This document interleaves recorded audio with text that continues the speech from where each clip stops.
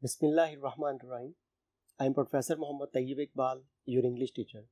Today we are going to study lesson number 14, short story Overcoat by Ghulam Abbas. Let's discuss the introduction of the story and the author. Ghulam Abbas was a short story writer. He was born on 17th November 1909 and died on 2nd November 1982. ये India के शहर अमृतसर में पैदा हुए थे। 17 नवंबर 1909 में और पाकिस्तान के शहर कराची में इनकी वफात हुई थी 2 नवंबर 1982 में और ये शॉर्ट स्टोरी ही लिखा करते थे। His short stories have a distinctive style in Urdu literature इनकी जो शॉर्ट स्टोरीज थी, वो उर्दू लिटरेचर यानी उर्दू अदब में इनको एक ख़ास मुकाम दिलाती हैं और उसमें सबसे अहम किरदार क्या अदा करता है? इनका डिस्टिंग स्टाइल एक मुनफर तरीकाकार his short stories overcoat and Anandi earned him international fame सबसे जो मशहूर इनकी कहानी हुई थी, वो ओवरकोट ही थी, जो आज हमारे इस सिलेबस में भी मौजूद है। His stories show some and moral ups and downs and also convey good moral lesson के इनकी समाजी जो उतार चढ़ाव, मुआशरे में होता है जो उरूज जवाल है, तरक्की है वो तमाम चीज़ें इन्होंने अपनी कहानी में पेश की हुई हैं। इनकी ज़्यादातर कहानियों में मेन किरदार अदा करने वाले वो लोअर सेट्राटा के लोग हुआ करते हैं, यानी कि बहुत ज़्यादा अमीर लोगों को ये कि अपने मेन किरदार नहीं देते, ये औसतन दर्जे के लोगों से मेन किरदार अदा करवाते हैं, जैसा कि इस कहानी में भी ऐसा ही मौजूद है। इसके अलावा इनकी कहानियों में एक ख़ास मॉरल लेसन भी मौजूद हुआ करता है तो अब हम देखते हैं कहानी के अंदर मौजूद क्या है यह कहानी का थीम क्या है।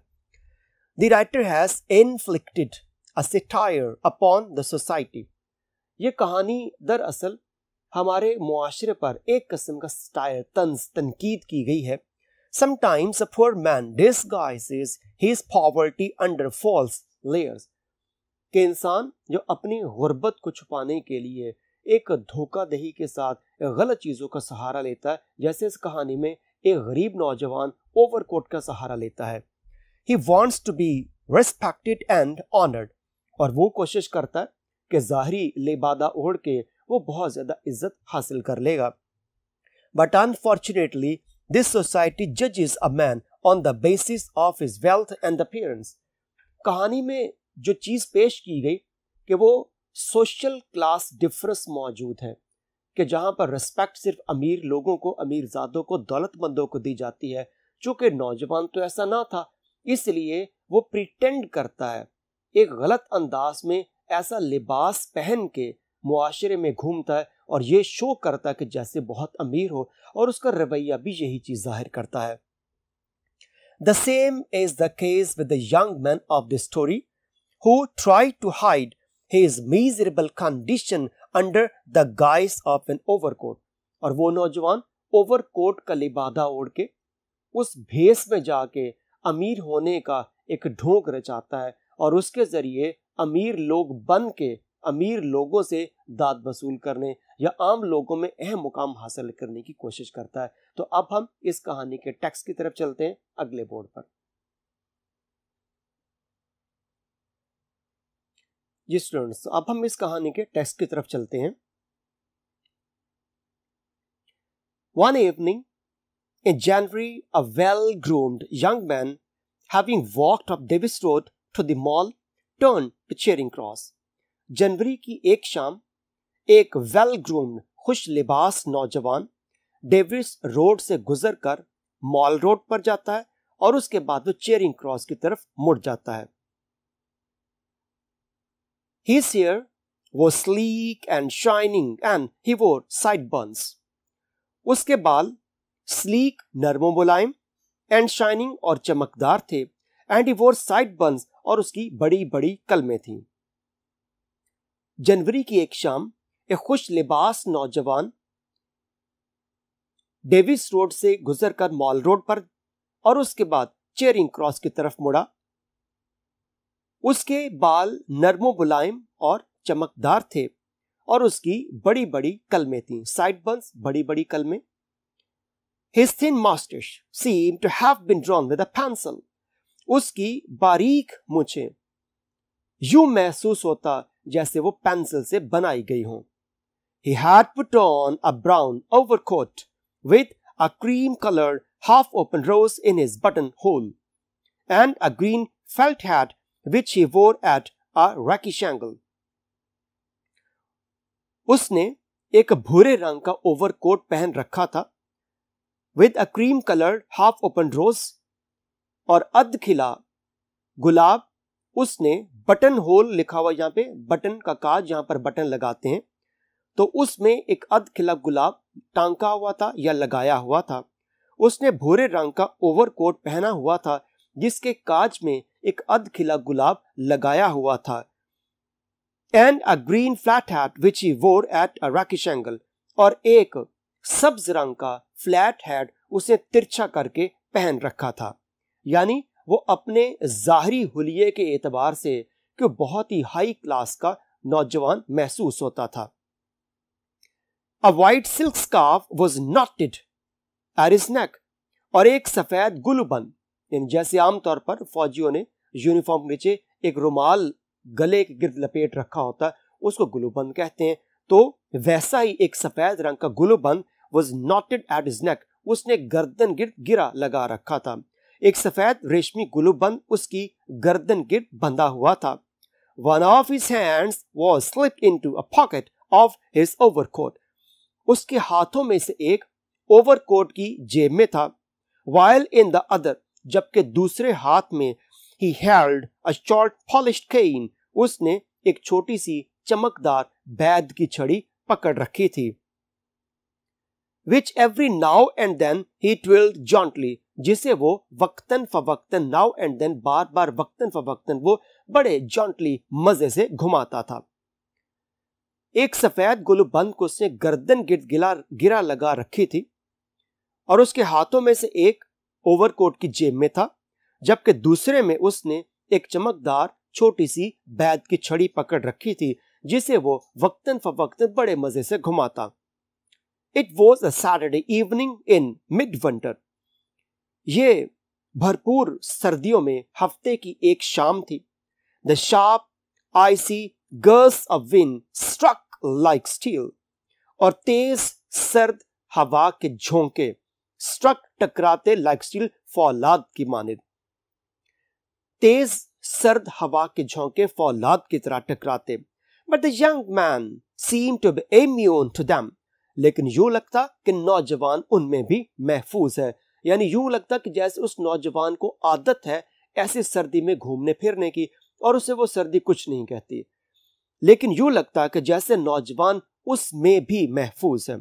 So while others were walking briskly to keep warm he was ambling along obviously enjoying his promenade in the bitter cold. So, bus. While others were walking briskly to keep warm, जब दूसरे अपने आप को गर्म रखने के लिए तेज़ी से चल रहे थे ब्रिस्कली क्विकली तेज़ी से चलते थे ही वॉज़ एम्बलिंग वो चहलकदमी कर रहा था आहिस्ता चल रहा था along obviously बाजाहिर एंजॉइंग लुत्फ उठाते हुए his promenade अपनी उस चहल कदमी से, चाल से, इन द बेटर कोल्ड शदीद सर्दी में। जब दूसरे अपने आप को गर्म रखने के लिए तेज तेज चलते थे, वो शदीद ठंड में भी अपनी तफरीह के लिए हल्के हल्के अंदाज में चलता था। बस जब दूसरे अपने आप को गर्म रखने के लिए तेज तेज चल रहे थे, वो अपनी बजाहिर चहलकदमी से लुत्फानंदोज होने के लिए धीमे अंदाज में चलता था। इस पेज पर जो इंपॉर्टेंट वर्ड्स उनके मीनिंग्स देख लेते हैं वेल ग्रूम खुशपोश खुश लिबास tidy combed dressed next word sleek मुलायम silky glassy smooth next word rakish तिरछा stylish sporty dashing next word cane छड़ी बैद की छड़ी स्टिक स्टाफ स्टाफ ट्विल घुमाना, ट्विस्ट स्पिन वर्ल, जॉन्टली बड़े मज़े से, happily, carelessly, merrily. Next word icy बर्फानी, frosty, biting, freezing. Next word gust, झक्कड़, gale, rush, blow. Next word immune, महफूज, resistant, safe, unaffected.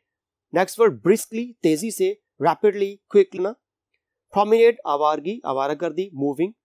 Stroll ramble saunter next paragraph He looked such a dandy. The Tonga Valas, on catching sight of him, even from a distance, whipped up their horses and raced towards him.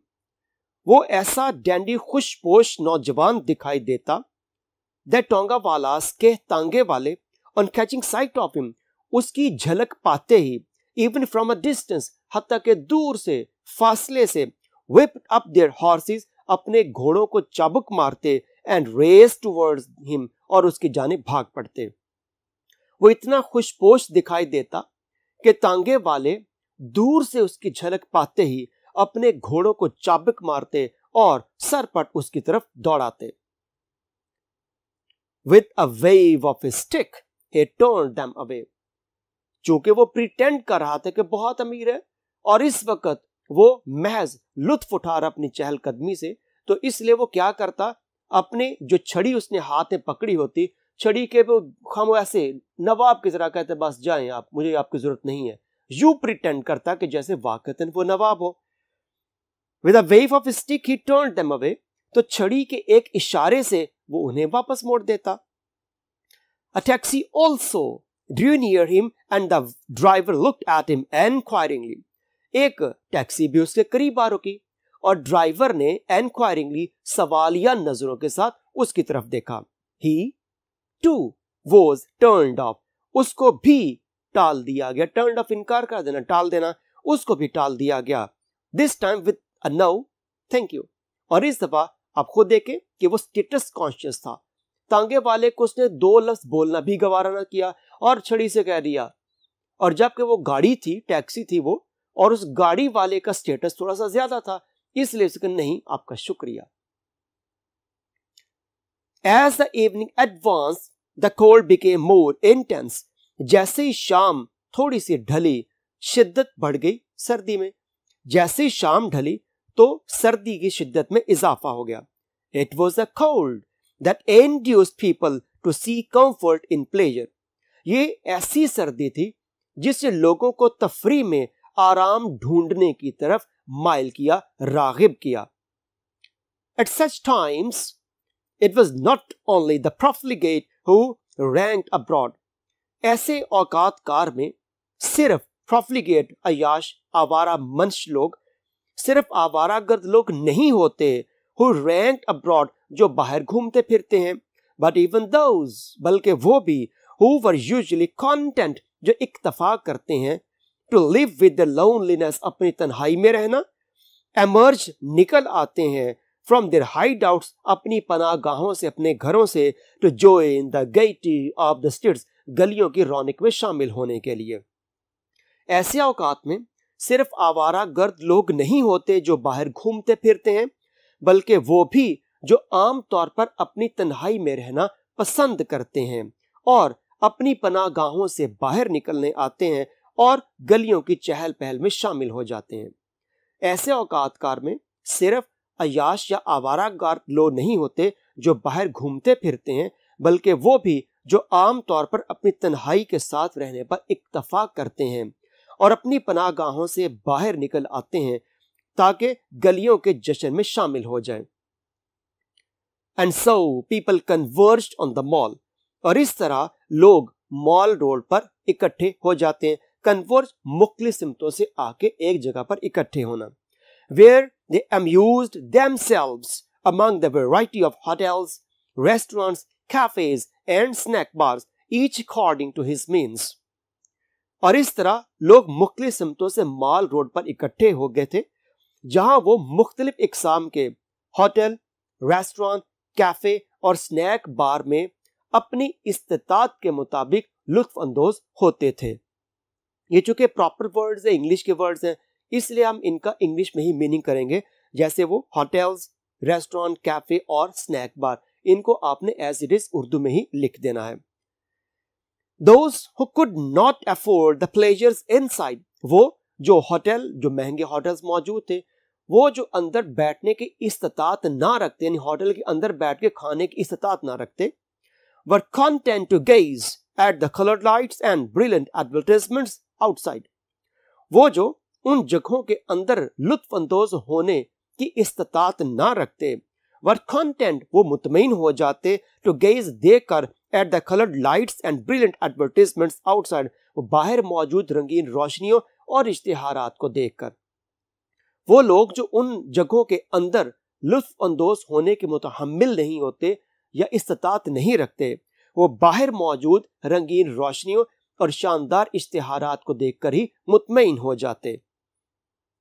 Up and down the main road there was an unending stream of cars buses tongas and bicycles were while the pavement throng with pedestrians उस मरकजी सड़क के दाएँ बाएँ या इधर उधर, बसों, कारों, टांगों और मोटरसाइकिलों की एक ना खत्म होने वाली कितार थी। वाइल जबकि द पेवमेंट वो फुटपाथ कह लें आप, पैदल चलने की गुजरगा कह लें आप थ्रोंग भरी पड़ी थी विद पैडेस्ट्रियन पैदल चलने वालों से। उस मरकजी सड़क के दोनों अतराफ, कारों, बसों, तांगों और साइकिलों का ना खत्म होने वाला हजूम था, या ना खत्म होने वाली तवील कितार थी जबकि वो पैदल गुजरगा पैदल चलने वालों से भरी पड़ी थी। इंपॉर्टेंट वर्ड्स इस पेज पर। डैंडी खुशपोश ब्यू फॉप गैलेंट वेब चाबुक लगाना strike beat next word raced तेज दौड़ाए ran rushed sped next word turn off इनकार किया rejected repelled next word intense शदीद strong acute fierce next word advanced आगे बढ़ी progressed, developed. Next word, induced, माइल हुए, inspired influenced. Next पर profligate अयाश आवारा मन श्लोक corrupt wander in next word content इकतफा करना satisfied limited glad next word hide out refuges shelters asylums next word gaiety जशन fun gala celebration next word converge इकट्ठे हुए gathered assembled next word stream रेला rush हजूम gush crowd, flow. Next word, thronged, purhujum, packed, filled, crowded. Next paragraph. The young man seated on the cement bench was watching with interest the people passing on the pavement before him. नौजवान उस cement के bench पर बैठा हुआ था was watching और देख रहा था विद इंटरेस्ट बड़ी दिलचस्पी के साथ the people passing on the pavement before him उन लोगों को जो उसके सामने फुटपाथ पर से गुजर रहे थे। नौजवान शख्स उस सीमेंट के बेंच पर बैठा, बड़ी दिलचस्पी से आ अपने सामने से गुजरने वाले लोगों को जो फुटपाथ पर से गुजर रहे थे, उनको बड़ी दिलचस्पी से देख रहा था। नौजवान शख्स सीमेंट के बेंच पर बैठा दिलचस्पी से अपने सामने से पटरी पर गुजरते हुए लोगों को देख रहा था, पटरी से मुराद footpath. Most of them were wearing overcoats which were of every kind from the astrakhan to the rough military khaki such as are found in large bundles at the second hand cloth shops उनमें से अक्सर ने veering पहन रखे थे overcoats which were of every kind जो हर किस्म के थे फ्रॉम द अस्त्रा खान अस्त्रा खानी से लेकर to the rough military khaki फौज के उस पुराने खाकी रंग के ओवरकोट तक सच एस आर फाउंड जो मिलते थे इन लार्ज बंडल्स बड़ी बड़ी गांठों में at the second hand cloth shop इस्तेमाल शुदा कपड़ों की दुकानों पर। उनमें से ज़्यादातर ने ओवरकोट पहन रखे थे, जो हर किस्म के अस्तर खानी से लेके फौज के पुराने खाकी ओवरकोट तक शामिल थे। जो पुराने कपड़ों की दुकानों में, यानी इस्तेमाल शुदा जो कपड़े होते हैं, उनकी बात की जा रही है, जो पुराने कपड़ों की दुकानों पर बड़े बड़े गांठों की शक्ल में मिलते थे। The overcoat the young man himself was wearing was old but it was well cut and the material was of good quality वो ओवरकोट जो नौजवान ने खुद पहन रखा था वॉज़ ओल्ड पुराना था but it was well cut लेकिन ये अच्छी तराश खराश का था and material was of good quality और उसका सामान मवाद कपड़ा अच्छे मैार का था। वो ओवरकोट जो नौजवान ने खुद पहन पहना हुआ था, वो पुराना मगर अच्छी तराश खराश का था और इसका कपड़ा और दीगर सामान अच्छे मैार का था। The lapels were stiff and the sleeves well creased lapels means collar collar उसके सख्त थे और उसकी जो आस्तीनें थी, वो अच्छी तरह उसकी शिकन बनी हुई थी। कोट का कॉलर तना हुआ या सख्त था और उसकी आस्तीनों की तय अच्छी तरह लगी हुई थी, यानी यू कह लीजिए कि अच्छी तरह इस्त्री किया हुआ था। The button were of horn button सींघों के बिग, बड़े एंड शानी और चमकदार थे। बटन सींग के बने, बड़े और चमकदार थे। The young man seem to be very happy in it यूँ लगता कि नौजवान उसमें बहुत खुश था। A boy selling pan and cigarettes with a tray of his wares passed by. एक लड़का जो पान और सिगरेट बेच रहा था विद अ ट्रे एक ट्रे के अंदर एक तश्तरी में रखे हुए विद इज़ वेयर्स अपने सामान को पास में पास से गुजरा। एक लड़का जो पान और सिगरेट बेच रहा था, अपने सामान को तश्ती में रखे हुए करीब से गुजरा। पान वाला यानी उस नौजवान उस लड़के को आवाज़ दी, ये सर, जी जनाब have you change for a ten rupee note तुम्हारे पास का दस रुपए के खुले हैं, यानी खुले दस रुपए हैं? No sir but I get it for you नहीं जनाब, लेकिन आपकी खातर मैं ले आऊँगा. And what if you don't come back और अगर तुम वापस ना आए तो? इस एक फिक्रे ने उसके सारे राजों का पोल खोल दिया। यानी अगर वाकतन वो बड़ा वेल ग्रूम किस्म का शख्स होता, कि बहुत हाईफाई किस्म का अमीर होता तो फिर उसको दूसरों पर एतमाद करने की आदत होती। क्योंकि उसके पास पैसे थे या नहीं थे, लेकिन उसको किसी पर एतमाद नहीं था। इसीलिए उसने पूछा, अगर तुम पैसे लेके भाग गए तो? If you don't trust me sir you can come with me अगर आपको मुझ पर यकीन नहीं है जनाब तो आप मेरे साथ आ जाए। Any what you want to buy खैर, आप बताएँ, आप क्या खरीदना चाहते हैं? नेवर माइंड चलो कोई बात नहीं। Here I have found one anna लो, मुझे एक आना एक सिक्का मिल गया। Now give me a good cigarette and be off with you अब मुझे एक अच्छा सिगरेट दो और चलते बनो। बी ऑफ़ चलते बनो। As he smoked he seemed relish every puff जब वो सिगरेट पीता वो हर कष्ट से खूब लुत्फ अंदोज होता दिखाई देता। इंपॉर्टेंट वर्ड्स बंडल्स ढेर गांठे heaps files collection next word stiff सख्त firm hard tight next word ware सामान items goods articles next word relish लुत्फ अंदोज होना, मज़ा लेना। Enjoy like taste next word mind सोचो। Care think object next word puff यानी कश whiff breath, blast. A small, lean, white cat, shivering with cold, rubbed against his legs and mewed. एक छोटी सी लीन दुबली पतली सफ़ेद बिल्ली शिवरिंग विद कोल्ड सर्दी में कांपती हुई रब्ड अगेंस्ट हिज लेग्स उसकी टांगों के साथ रगड़ खाने लगी कस मसाने लगी एंड म्यूट और म्याऊ म्याऊ करने लगी एक छोटी दुबली पतली सफ़ेद सी बिल्ली सर्दी में कांपती हुई उसकी टांगों से रगड़ खाने लगी और म्याऊ म्याऊ करने लगी।